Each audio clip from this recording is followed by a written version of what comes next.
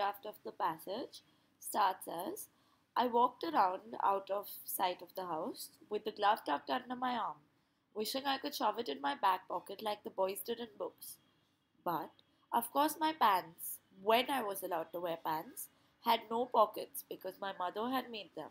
So, from here, we can say the reason she didn't carry the glove in her pant pocket is because her pants were made by her mother and they had no pockets in them. Hence, we can say option B her homemade pants didn't have pockets.